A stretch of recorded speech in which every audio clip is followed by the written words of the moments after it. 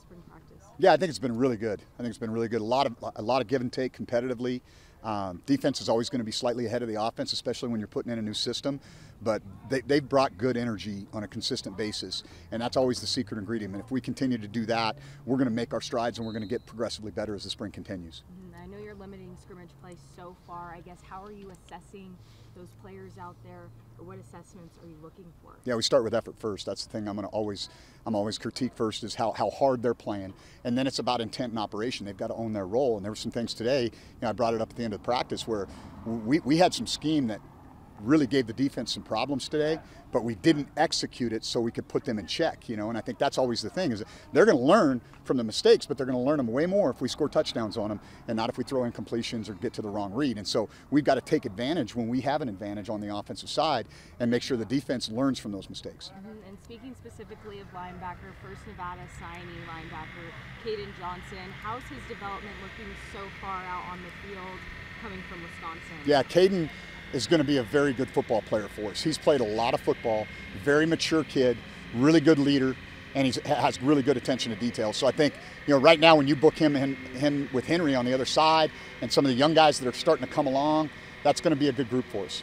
Thousand percent. I know your mind is on the field right now, but tis the season, right? March Madness. You have your bracket filled out. Where do you have Nevada making a strong run? Yeah, I feel strongly they're going to get to the Sweet 16 and then have an opportunity to make some noise. I just I like where they're at. Um, you know, I'm not a big hoops guy. Uh, so, so my, my critique of what really good basketball is, but I know we've got really good players. I mean, you know, you look at like Jarod Lucas. I love I love watching that kid play. His his competitive character is, is next to none. And when you've got guard play like that in the tournament, it should be a fun run for the Wolfpack.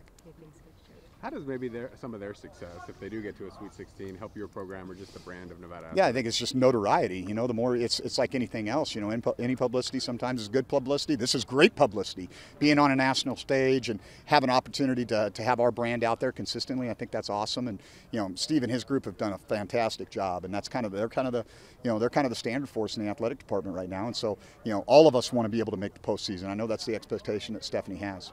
When you look at uh, five practices, a third of the way through spring camp, I guess what are your biggest uh, observations or, or, areas of positivity outside of yeah. that competitiveness you mentioned? I'd say willingness you know, they've been open to the schemes that we're putting in, uh, how we're coaching. I've been really pleased with the coaching staff. I think they've brought really good energy, and their on the field demeanor has been really good. Um, I think there's opportunities to hold these guys accountable, and we're taking advantage of those. That's how they're going to learn. We can't let the little things slide, or they're going to become big things. And so I think I've been really pleased with our coaching staff energy. I've been really pleased with the, the way the kids have taken to our coaching. I want to ask about Henry. You mentioned him earlier. I mean, he obviously wanted to play here last year, didn't get that chance. What have you learned about him and yeah, what he wants to get out of his last year at college? I think he's hungry. You know, he's a talented young player, and um, he's, he's had to kind of, you know, wait his turn. You know, that's a tough deal when you're a 4-4 transfer and you think you've got your percentage degree, and that's not what it is. And now you got to kind of go down on scout team and have a different role. And, uh, you know, I think he recognizes that he needs to be a leader on our defense, and I think he's embraced that thus far. You guys also added a couple of running backs. Uh, Patrick Garwo, we were able to speak with last week. I guess what it seems like a, a really great guy. I guess what have you what do you like about his game, and what have you learned about him as a person? Highly productive. Um, you know, he's like a mini Mark Ingram. Uh, you know, a guy that rushed for almost 1,200 yards in the ACC, a very competitive conference. Um, very mature, very very seasoned as not just a player but as a person. I think he's been a good a good mentor for some of our younger players, especially in that room. And we're excited to get him rolling once we get to fall camp the department announced the Joel Bitonio Austin Corbett camp coming back. I don't know how much familiarity you have with them, but just to see two guys who've had a ton of success in the NFL kind of kick off your guys' spring game, what does that mean to you? No, I think it's awesome for the community. I think it says a lot about this place that there's so many guys, whether it's Virgil or Austin or Joel, that come back and give back within this community and to this place. And, and that I think that speaks to how special it is. And that's what we're trying to recapture is, is having you know having this be a destination for our former players. They want to come back. They want to live in Reno. They want to give back to this community in a variety of ways, like like those three gentlemen that I talked about are. I think we saw Chris Ault sighting out here. I guess uh, having him involved in the program, how important is that for you, given uh, the respect that you kind of showed for him during your introductory press conference and what he has done for this school? Yeah, I mean, he, he's an institution. I mean, there's no other way. I mean, a guy that played here, coached here three different tenures. He's a Hall of Fame coach, and I think that having having him out here to, to bounce ideas off of or just let him have some observations or him being able to encourage our guys, that's, that's hugely important. And the one thing I can tell you is nobody has all the answers. And if you can surround yourself with people who have experience, you can gain from that. And that's what I'm looking for from, from Coach Aldis. Every once in a while, you know, he's not gonna he's not gonna give me information or advice. We had that talk, but if I ask for it, I'll get an honest answer, and I appreciate that.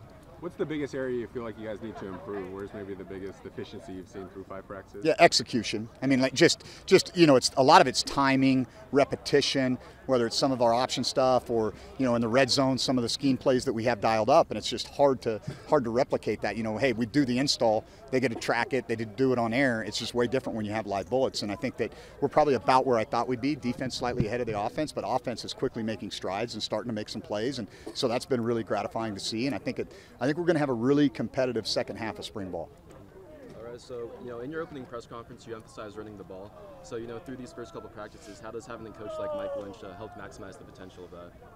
Yeah, I think it's not just Mike, but but Brian Armstrong. I think. Uh, you know, when we were at Montana State, we were consistently one of the top five teams in the country running the football. And the one thing that I always appreciated about both Mike and and Brian was it wasn't just the scheme going in that worked. It was their ability to adapt and adjust at halftime to take advantage of what the defenses were doing to us. And I think those were two guys that have had a lot of experience doing that. And that's an invaluable thing when you have, hey, because there's going to be times where, you know, hey, they're going to take away the base things that you're trying to do. So you have to be able to adapt, and both of those guys are experts at that. Yeah. So I mean, with 10 running backs currently on the roster right now, I mean, what have you seen so so far through uh, through practice that's really uh, stood out about the group? Yeah, I think Sean has done a really nice job. He, he's shown a lot of maturity. And it's a hard transition, right? You know, a guy that came from Oregon, and and now he's got to kind of earn his earn his stripes again, so to speak. And he's been awesome. His leadership has been really good. I think he's got the talent to be really productive back in the Mountain West. Uh, I like Dom. You know, Dom Ball's the other kid that has, has, flashed at times. Unfortunately, put the ball on the ground down here in the red zone, but he'll learn from that. Uh, but he's a dynamic guy. He's got really good speed, and I think those those two guys have probably stood out the most out of that running back room right now. And then we've got the other guys that are kind of waiting in the wings once we get Ashton and, and Patrick healthy. Can you just walk us through last year? I guess some of the emotions you went through, hoping to play for the Wolfpack and not being cleared. Man, that was probably one of the worst experiences of my life. Uh, just sitting on the sidelines every Saturday, seeing my boys go out to war, and I couldn't help them at all. And I couldn't make the impact that I know I can make. Uh, it actually hurt me a lot mentally, but also brought a fire back in me to prepare myself for this upcoming year. Uh, it was a big learning step for me, and, and, I'm just grateful that it happened because I came back better and stronger, and I came back lighter than ever. So I, I would say I'm grateful for that. For that. You got to practice with the team, right? You just couldn't play in games. Like, yeah. What was it like going through practice? You know, trying to put in that hard work and just knowing that Saturday was never going to come. Uh, practice actually was kind of hectic because I got a lot of a Henry, chill out, you know, calm down, you know. But I, I was just so eager to make plays in practice and. But then again, I still want to bring that juice and fire every day uh, last year, and I'm still going to continue to do that today. Well, I guess what did you learn through that uh, experience about yourself? You know, just having to display that patience that maybe you didn't think you were gonna have to do. Uh, what I learned is it can happen to anyone. Uh, I honestly thought I was gonna be clear. I thought last year was gonna be my last year, but then again, you know, being actually you know one of the few people that got their year taken away, uh, I would say it's a big learning experience. But I say I grew from it.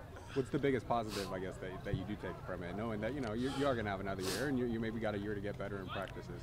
Uh, the best that I learned, uh, that I could say, is being with Coach Choate. Honestly, uh, he's a big program changer. Uh, you know, he, he's he's a players person. Uh, he takes care of his players. You know, we got a nutritionist. We never go hungry. Uh, man, like I, I just love him. I love what he's about. He's a realist, and I'm just grateful that I actually get to be under him. There's probably some apprehension after Coach Wilson left. I guess um, you know when did you know Coach Choate was someone that you you jive with and that you would be excited to play for? Uh, I knew he was going to be one when uh, one of my cousins played for him at Montana State. Uh, you know, I was thinking about leaving. You know, I had some questions about it. I talked to my family about it. But then Coach Choate, he met with me one-on-one, and he completely changed my mind. Uh, I saw what he was about. I saw the energy he brought. You know, he doesn't want to restart. He wants to launch, and, and that's what we're ready to do. And I honestly believe like this year is going to be the one. Who's the cousin, and what, what was his uh, Uh, he- me- message to you? I guess. Yeah, so his name's Taylor Tuiasosopo. He played guard over there with Montana State under Coach Choate. They won a championship together. And the message that he told me is I would regret leaving under Coach Choate. Uh, and honestly, ever since then, I don't I don't regret leaving at all. Obviously, you know, playing on the defensive line is a little new for you. So getting a year worth of practice, I guess, what did you learn most about that position? You know, getting back up there on that line.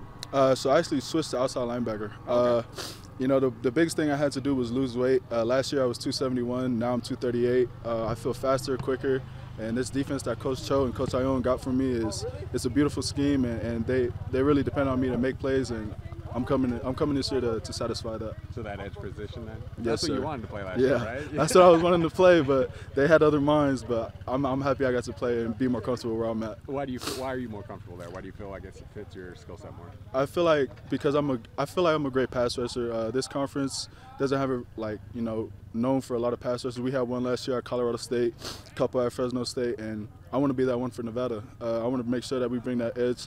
You know, we got a, we added a couple uh, weapons to the room, Solo, Caden, and it just feels good having two edges on the field with me that you know can ball and do the same exact thing as me. Also, two edges instead of one this year. Yes, sir. uh, I guess. Uh, what are your expectations for this year personally? What, you, what are the goals you want to achieve? To win. Uh, man, I two and ten. I I never want to experience that again. Uh, but really, uh, with this year, I'm really focusing on you know making first team, being that dude this year, being the guy that everyone looks up to. Uh, I really want to make be that impact player that everyone's depending on me to be. Your brother's on the team too, right? I Yes, see him on sir. the roster. Yeah. Uh, I what does that mean? You to finally get to play with them. Man, it means the world. Uh, you know, I always want to play with him. Uh, that was the goal from the start, and I'm happy I get to finish it here at Nevada where I started. Yeah, I'm sure the parents are really happy as well. I guess what are their emotions seeing you guys on the same roster and the same team? It brought a couple of tears to them. Uh, they were actually, you know, they didn't believe it at first, but for us to actually be together, you know, it, it means a lot because me and him having that brother connection, yeah, yeah, it means a lot. How did you go about losing 40 pounds? Man, it was it was tough at first, but man, I if I wanted to do what I wanted to do for Nevada, I had to do it. I had to lose the weight. It was a lot of mental focus and a lot of dedication, so I had to make sure to lock in and be the best player for myself, so I could help impact the team. The switch in positions is that something you brought to Coach Choate, or I guess how did that play out? Uh, I guess they saw the twitchiness in me. Uh, I actually played outside linebacker at Cal before I came here, so I, it's a little familiar with the play schemes and stuff like that. But yeah, Awesome. That's all we got for you. Thanks so much for the time. Good luck this year. Uh, so walk us through last year, your first year at Nevada. I guess uh, what did you take away from that season? Um, I feel like as a team, we le- we left a lot out of there, out there on the field, but I, I, I feel like I really established myself as a player for this defense, and I look forward to continuing that. Yeah, really, the second half of the season, you got Yes, on the sir. field a lot more. I guess Yes, how sir. much um, confidence did that give you, knowing you could Uh, play it in the Mountain West? it gave me a lot more confidence coming from a place where I didn't play too much, and just getting the opportunity to come here and just really establish myself and earn that. I mean, get that confidence. Uh, and then walk us through the coaching change, and I guess how you absorb that, and, and what excites you about this new era in Nevada football. Uh, the coaching change has been good so far. I feel like I'm, I'm still getting to know, the, know uh, most of the coaches, but it's been good. What do you like about Coach Choate? I mean, he seems like a pretty passionate, motivational kind of guy. I, I like that he's real. He keeps everything real. He just he's all about just keeping us all together and just really competing. We didn't have too much competing last year, and this year we're, we're really competing. You can feel the energy at practice, where everybody just going at it, talking, and just we're competing at a high level. Obviously, you guys lost a, a couple of really good safeties in Amani and, Yes, and uh, Richard. I guess what, what do you see as your role in, in this defensive backfield this season? Um, I'm still playing the nickel spot, but we do got we we still got guys that can still play back in that safety spot. Aiden, Tori, uh, Keaton, Keyshawn. We got a lot of a lot of guys that could uh, take that take that step. Yeah, they definitely had out. a lot of safeties. I guess how have you tried to welcome them and, and make them comfortable here in Nevada, knowing that you know you were a transfer at one point and kind of new to uh, this area? Uh, just help them out any way I can. You know, it's hard coming to a new place and getting to know everybody. Just being kind to those people and just really getting to know them, and that's really it. So you mentioned you didn't play a ton at Utah, and then you know Mhm. coming here and getting on the field. I guess were there any doubts of you know how, how do I stack up as a college player, or did you always have that confidence? In? I, I feel like I always had that confidence in myself. Like I always knew I could play, and that's why I decided to go somewhere else and just get the opportunity. Yeah, I guess what did you I guess learn about uh, you know the college level and actually being out there on Saturdays and, and feeling what Uh, that was like? I mean, I played a little bit at Utah, so I got a little taste of it, Yeah. but it, it's it's fun. It's it's it's competitive, physical, and I, I like that. What makes you a good nickel in your mind? What, what do you think are your, your main skill sets that make you a good college player? Uh, I feel like I'm a very smart player. I pick up on things really fast, and I just do do my job and make sure everybody else around me is good. How have you, uh, I guess, uh, you know, kind of enjoyed, uh, you know, this spring and learning this new scheme? And, Uh-huh. you know, what are maybe some of your favorite things about the, the new defense you guys are learning? Um, I like that we run a lot of man in this defense. You know, it's always fun just taking care of what you got in front of you, and I really enjoy that. Obviously, Keaton came here with a lot of accolades. I guess Yeah. uh, tell us a little bit about his game, what, what you've enjoyed about him in the backfield. Uh, I feel like he is just very athletic. He he know he knows what he's doing. Like he picks up things re- really fast. Yeah. You can see that. Coach Schultz talked a lot about the unity and trying to build this Mhm. team together. I mean, talk us through some of the stuff you guys did in the winter conditioning and you know, Uh, trying to bond a little bit more uh-huh. than maybe last year. Well, we had these things called uh, Culture Wednesdays. So every Wednesday we came in, we just did something as a team, whether that was just getting in small groups and talking to each other, getting to know, getting to know our teammates really, because we didn't have a lot of that. Like a lot of people from last year said they they didn't know like many guys' names. So we got in small groups. We went around campus doing things. We had to do like a treasure hunt and just in small groups for time. Like it was it was fun. It was competitive and it was like we were all together. We had to all work together I think with you guys pushed a truck across the field. Uh, Yeah. I think Ashton told us you guys were diving for bricks. at the bottom Yeah, we had to dive for bricks in the bottom of the pool. That was, I ain't gonna lie, that, that pool was hard. Swimming in that like- water was hard. Did you have like a favorite and a least favorite activity, most challenging? Uh, my favorite was probably the pool because I was good at it. I just dove straight in there and just grabbed a brick and, and just went straight up. So I was I was pretty good at the pool one. Okay, and what about the hardest one? Uh, I'm gonna say pushing that truck was hard. Pushing that truck was Oh, hard. so you weren't sitting in it because there were some guys who got. I was sitting in it, but I I could see how, how it feels. Like it was a, like my group. We did the pool first, so we were already Yeah. tired from the pool. Yeah, So we, the the truck was the last thing we did. So everybody's already dead. yeah. and I could see it in their face. Like we had to push it 100 yards, so Mhm. you could tell that was the hardest thing for people in my group. How's that going to benefit you guys uh, once you get to, into the season? Just you know having that different bond. Um, I feel like we we know like we know our teammates and we know what they can do. We know how they can contribute, and we just we just use that to motivate them, and we, we really get to know our teammates. What are your goals individually for this season? Um, just establish myself with this new coaching staff and just earn everybody's respect. Yeah, I mean, kind of a first impression, a new Yes, fresh sir. slate for everyone. And Yes, like sir. you said, you were playing a lot at the end of last year. Do you feel like you Yeah. kind of have to reprove yourself to these coaches? Yes, sir, most definitely. Out there? Yes, sir. Like nothing. Not, they said it when we came here. Nothing's given, so everybody starts over from zero and just got to work their way back up.